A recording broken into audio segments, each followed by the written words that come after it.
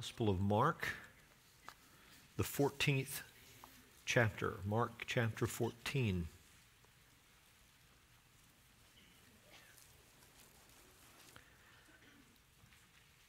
We are making our way through the Gospel of Mark. We have come to this 14th chapter and we have arrived at the 22nd verse. We're going to read to verse 26. Mark chapter 14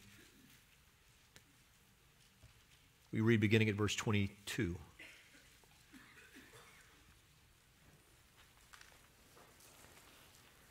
And as they were eating, he took bread, and after blessing it, broke it, and gave it to them, and said, Take, this is my body.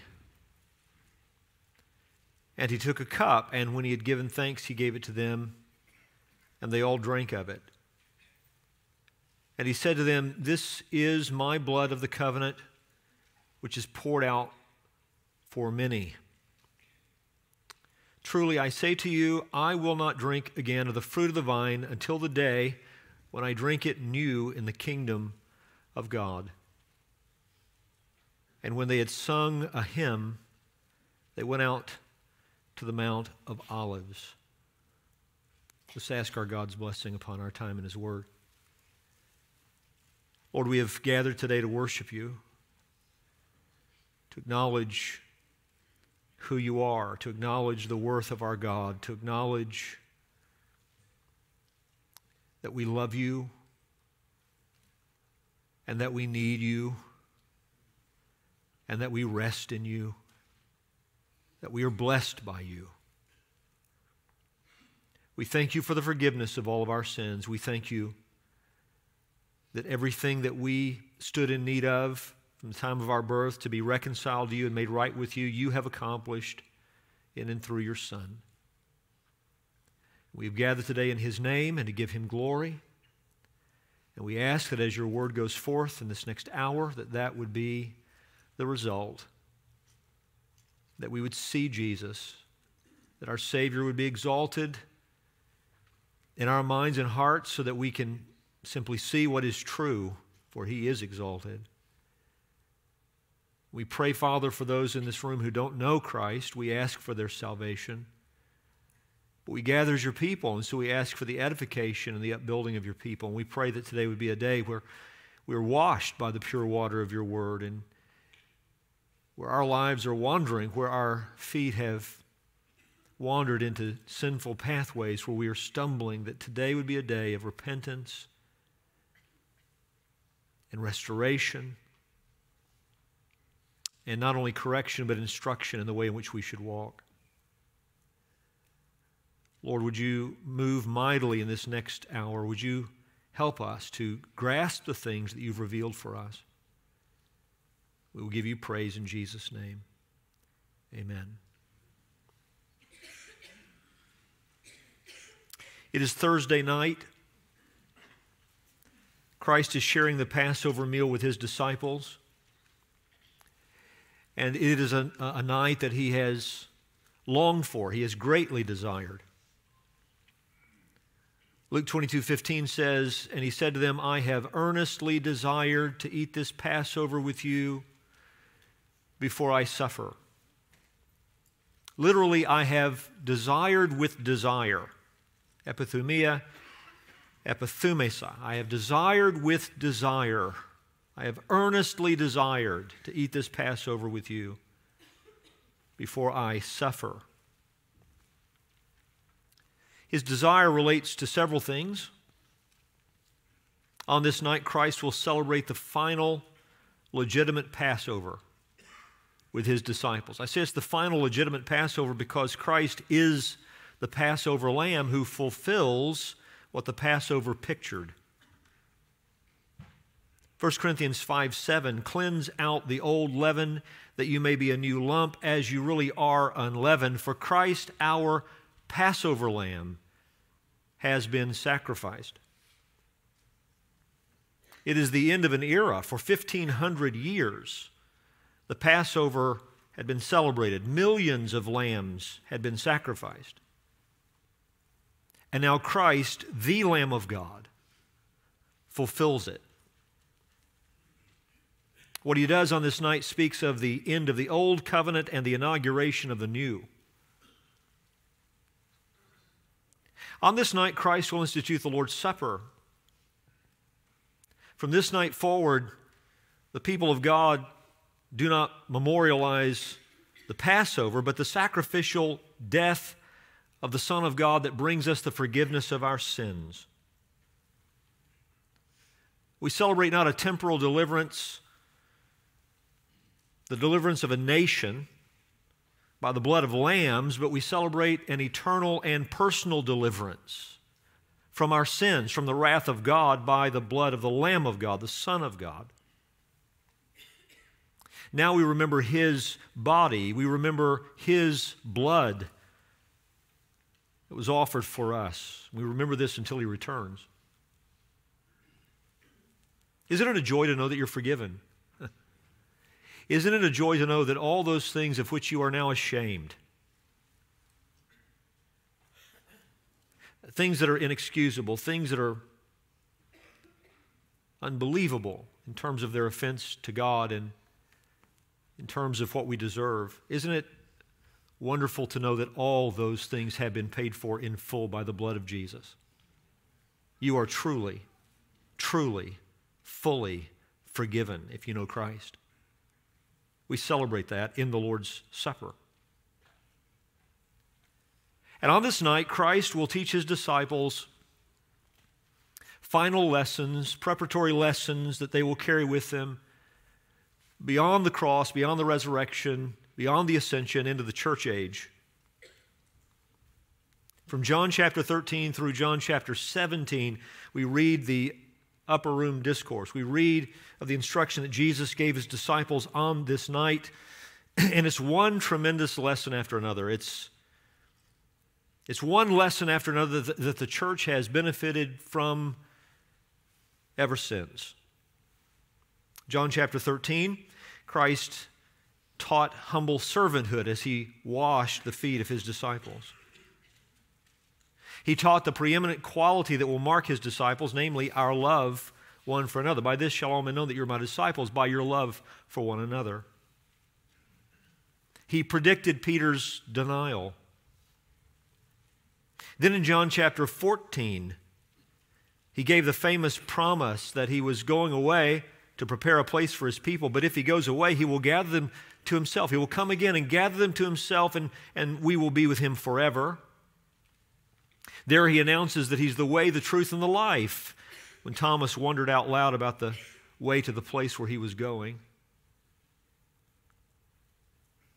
he answers Philip's desire to see the Father with the truth that he and the Father are one, and that if you've seen him, you've seen the Father.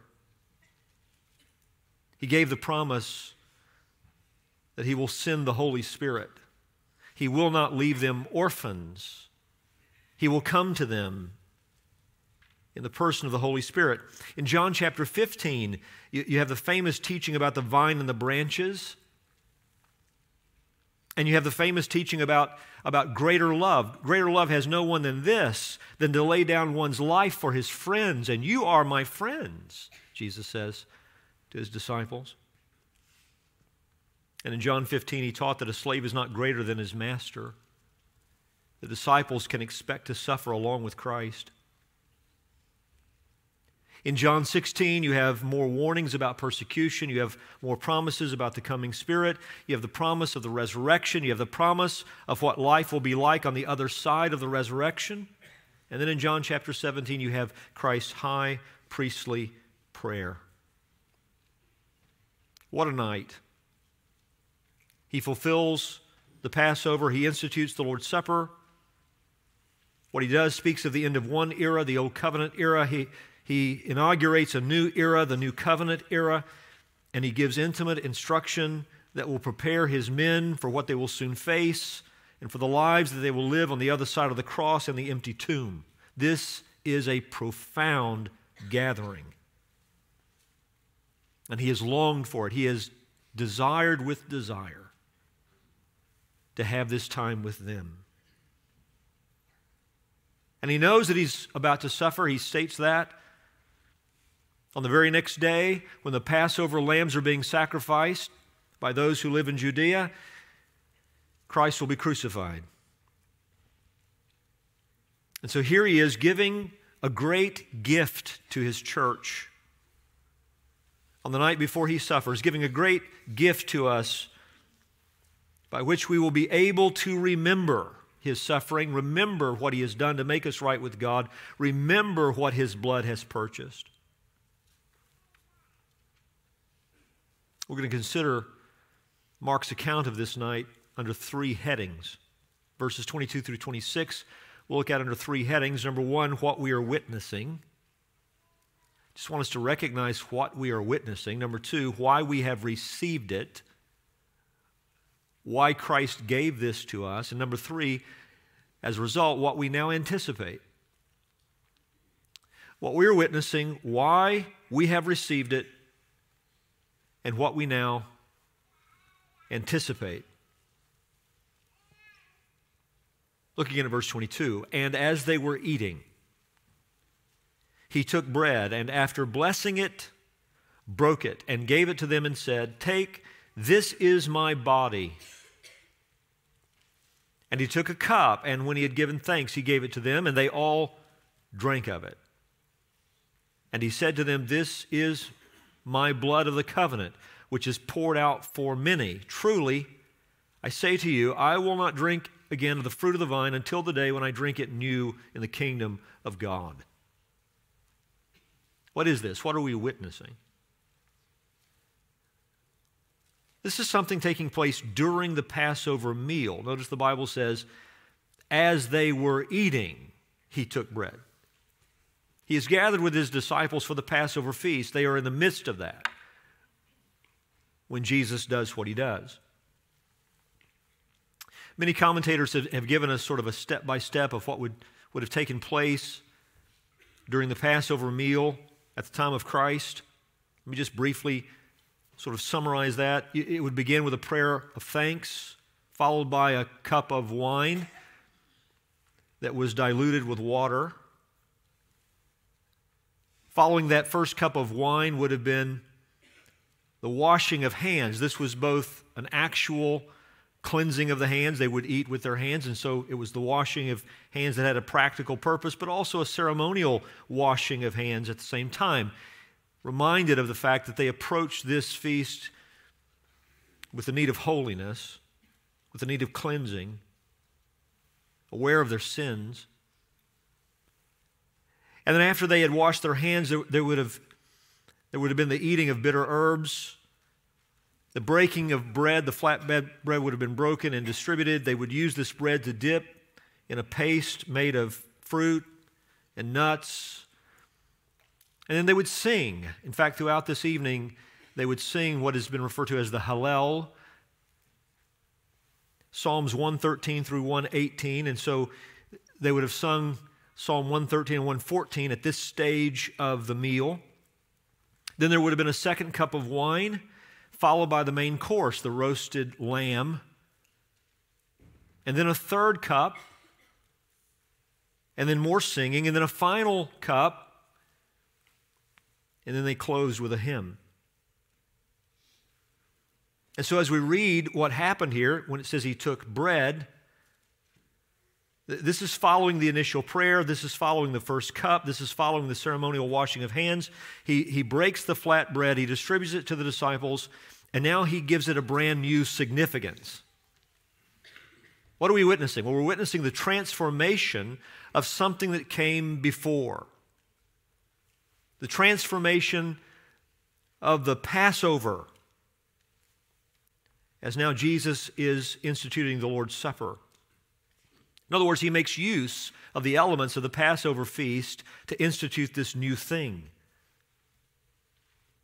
Kent Hughes, commenting on this, said this When the meal had been completely laid out before them, with the roast lamb as the centerpiece, the host, in this case Jesus, interpreted each of the foods on the table as it related to their deliverance from Egypt. The bitter herbs recalled their bitter slavery. The stewed fruit, by its color and consistency, recalled the misery of making bricks for Pharaoh. The roasted lamb brought to their remembrance the lamb's blood applied to the doorposts.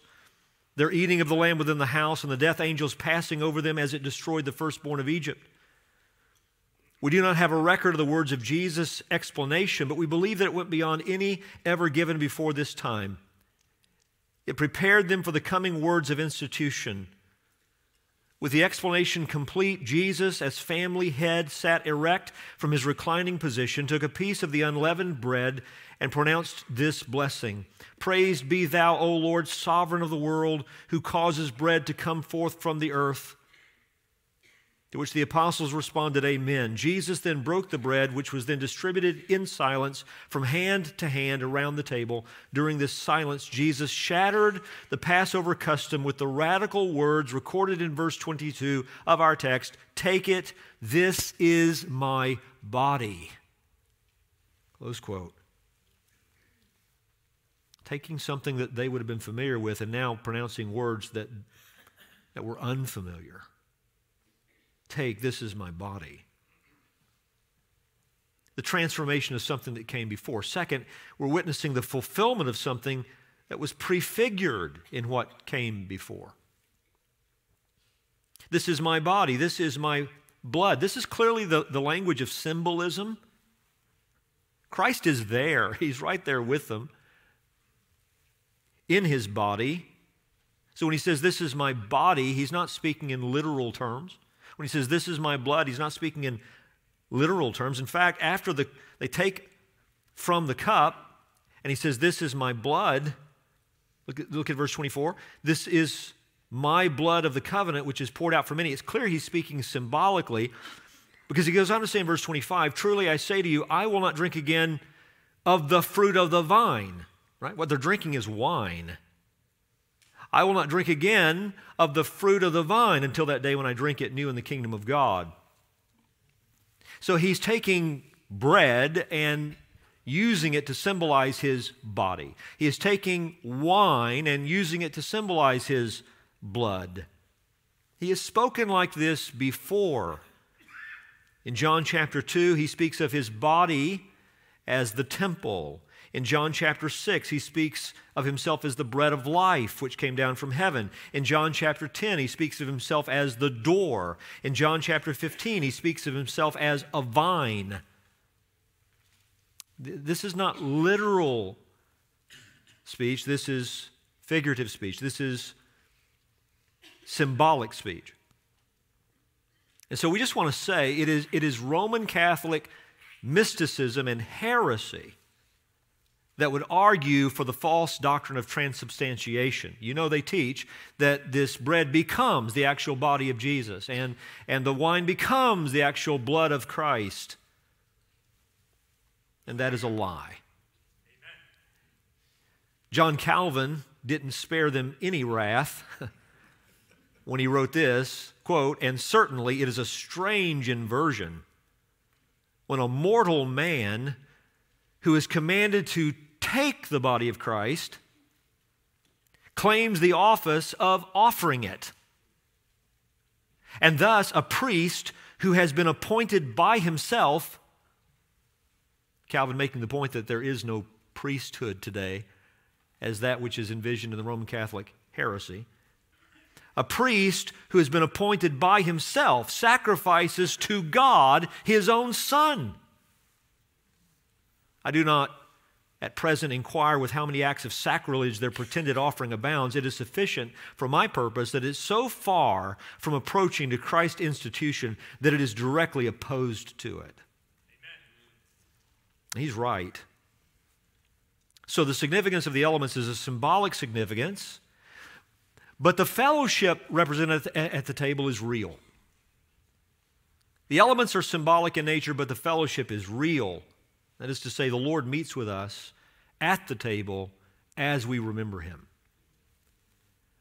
Uh, we did not plan, by the way, that we would be taking the Lord's Supper today when we arrived at this passage. It would have taken enormous planning on my part, and that's not me. So, isn't it sweet when the Lord allows our preaching to match up with our practice? And so today we, we partake of the Lord's table together, and we just need to know that though what we're partaking of is, is pure, purely symbolism, symbolic in nature, yet the fellowship is real because the Lord meets with us here. 1 Corinthians 10:16 says the cup of blessing that we bless is it not a participation in the blood of Christ? The bread that we break is it not a participation, literally koinonia, is it not a fellowship in the body of Christ? But the fellowship is found in remembrance. The bread and the wine of the Passover observance now speak of something greater than what was pictured in the Passover.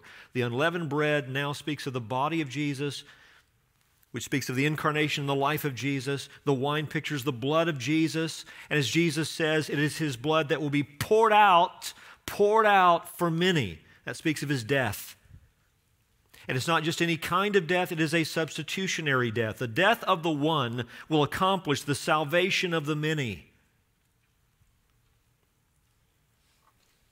So, this is the transformation of something that came before. It is the fulfillment of something that was prefigured in what came before.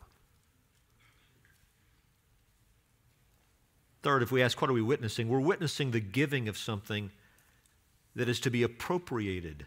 The giving of something that is to be appropriated. Jesus says, Take, this is my body. By the way, th- there is no significance in the breaking. In fact, the Bible makes the point, as was prophesied in the Old Testament, that not one of his bones would be broken. So the significant, there's no significance found in the breaking of the bread. It was just the way to distribute the bread. The significance is found in what the bread symbolizes the body of Jesus. And they all take of the body and they eat of the body symbolized in the bread. And they all take of the cup and they partake of that. The Bible says, verse 23, he took a cup, and when he had given thanks, he gave it to them, and they drank, they all drank of it. And the word all is at the end of that sentence in the Greek text, emphasizing the fact that they all took of it. the fact that they all ingest it speaks of what Christ will be to his people. He is our life. He is our spiritual food. As we receive Him, we receive life. And then we go on, as it were, feeding on Him. And in the supper, we remember that, that He is our life. John 6 48 says this I'm the bread of life. Your fathers ate the man in the wilderness and they died. This is the bread that comes down from heaven so that one may eat of it and not die. I am the living bread that came down from heaven. If anyone eats of this bread, he will live forever. And the bread that I will give for the life of the world is my flesh. The Jews then disputed among themselves, saying, How can this man give us his flesh to eat? And when you think about transubstantiation, you're actually thinking in, in the very blind, literal terms that his opponents were thinking in. So Jesus said to them, Truly, truly, I say to you, unless you eat the flesh of the Son of Man and drink his blood, you have no life in you. Whoever feeds on my flesh and drinks my blood has eternal life, and I will raise him up on the last day. For my flesh is true food, and my blood is true drink. Whoever feeds on my flesh and drinks my blood abides in me, and I in him. As the living Father sent me, and I live because of the Father, so whoever feeds on me, he also will live because of me. This is the bread that came down from heaven, not like the bread the fathers ate and died. Whoever feeds on this bread will live forever. We feed on Christ as we receive him initially by faith. We receive him as Lord and Savior. But then we go on living our lives feeding on him, which is to say, we go on believing in him. We feed on Him by remembering the truth as it is in Him. And so we feed on Him as we believe His words, and we feed on His words.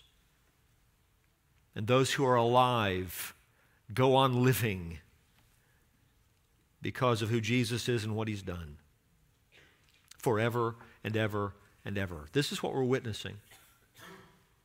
Leads to the second thought this morning why have we received it? Why did Christ give this to us? Why has the Lord's Supper been given to the church? Well, the Lord tells us why. It is to remember his death. And we'll talk about this in a moment. Every time we celebrate the Lord's table, we also remember his resurrection. But what is, what is proclaimed through these elements is the sacrifice of Christ. What is proclaimed is the death of Christ. Luke 22 19 says, And he took bread, and when he had given thanks, he broke it and gave it to them, saying, This is my body, which is given for you. Do this in remembrance of me. So he tells us what the significance of this gift to the church is, is so that we would go on remembering, gathering up in our, in our minds not just the facts of what occurred, but the significance of those facts. Not just that Jesus died, but what his death means. He gave his body for us. And we're to remember him, and in that way remember that, which he did for us. And likewise, the cup after they had eaten, saying, This cup that is poured out for you is the new covenant in my blood. No longer do the people of God serve under the old covenant. Now we serve under a new agreement, as it were, something established by God wherein we know the full forgiveness of our sins by the one sacrifice of Jesus, no longer offering all of those animal sacrifices that pointed to the sacrifice of Christ. Now he has come, now he has died, now he has been raised, now he has ascended into heaven. It is finished, it is accomplished, and we live our lives standing in grace because of what Jesus has done. This is my body, which is given for you. This cup that is poured out for you is the new covenant in my blood. The death of Christ has fulfilled what the old covenant promised through all those animal sacrifices the forgiveness of sins. Sins truly atoned for. And so it has ushered in a new covenant in which there are no more sacrifices to be offered. The one true and perfect sacrifice has been given. And we have the Spirit of God now living within our lives. Covenants are ratified by blood. The Noahic covenant ratified by blood, Genesis chapter 8. The Abrahamic covenant ratified by blood, Genesis 15. The Mosaic covenant ratified by blood, Exodus 24, Leviticus 17. And now Christ's blood, not the blood of bulls and goats and animals, but Christ's blood ratifies the new covenant. This is a new covenant in my blood. He has finished what is necessary to save us. All of the other pointed to him, foreshadowed what he would do. Now he has come and, and fulfilled it. And so, what we remember is that his blood has reconciled us to God. We don't just remember the, the facts, we don't just remember even the significance of the facts in a generic way, we remember, as we take, partake of this gift that He's given to the church, we remember what it means for us. What it means, if I can say it this way, what it, what it means for me, what it means for you. Christ gave His life to save me, His blood was shed to forgive my sins. Yes, and all of yours as well who trust in the Son of God. He forgave us all, but I don't want to miss the fact that He forgave me of all of my sins. Calvin said this the godly ought by all means to keep this rule whenever they see the symbols to think and be persuaded that the truth is surely present there. For why should the Lord put in your hand the symbol of his blood except to assure you of a true participation in it? In other words, as we take the cup, we will benefit most by saying in our hearts, Yes, I really am forgiven, and resting in the objective fact. Why does he put the bread into our hands except to remind us that he came from heaven to earth and lived and died for us? And why would he put the, the symbol of his blood into our hand except that those who have trusted in him should be assured that the truth is here, that my sins have really been atoned for? This is how we should think as we partake of what he gave on this night as a gift to his church. Why did he give it? To remember him, to remember his death. Second, to celebrate our shared life in Christ. To celebrate our shared life in Christ. So I do think of my own sins and the reality of their forgiveness, but now I also think about all of you. I think about the family of God. I think about the body of Christ. I think about what we share together. We all sit at the same table. We all partake of the same bread and drink. We all, that's what he emphasized here with his disciples, they all drank of it. We all take it in. This is why it's so important that you fence the table. This is why we talk about the fact that if you have not yet received Jesus as Lord and Savior, you are not to partake of the Lord's table. Your need is to partake of the Lord. Because what we're celebrating at this table is that we all share the same Lord, the same life, the same forgiveness, the same fellowship. This is a table for fellowship. If you don't know Christ, you don't belong to the fellowship yet. You're outside the fellowship. Isn't it instructive that Judas was dismissed from the room before Jesus instituted the supper? The men who partook uh, of this supper were believers. Judas was not there because the supper is not for unbelievers, it's for true disciples. So, to remember his death, to celebrate our shared life in Christ. Third, to remember the resurrection and the promise of his return. As Paul applies this in the life of the Corinthian church, he says that we partake of this until the Lord comes. And even here on this night, Jesus looks beyond the cross, beyond the resurrection to a future day. Verse 25 Truly I say to you, I will not drink again of the fruit of the vine until the, that day when I drink it new in the kingdom of God. This is beyond the cross and beyond the resurrection. He, he's declaring his triumph before he ever dies. And so, in this way, we proclaim the Lord's death until he comes. So, the very fact that we partake of the Lord's table is our confession as a church that we believe that Jesus not only died for our sins, but has been raised from the dead bodily, has ascended into heaven, and is coming again.